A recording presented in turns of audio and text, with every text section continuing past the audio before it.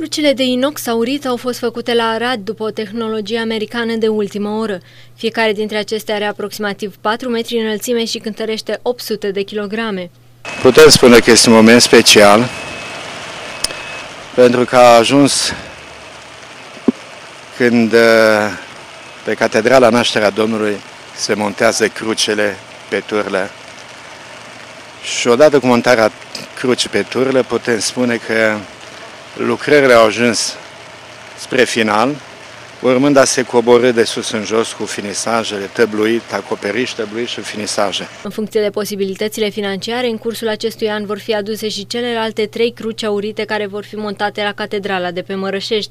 Două dintre acestea vor fi mai mici decât celelalte patru aduse zilele trecute și vor fi montate deasupra cupolelor de lângă intrare. A treia însă va fi de 6 metri înălțime, va cântări circa 1,3 tone și va fi montată pe tur la centrala catedralei.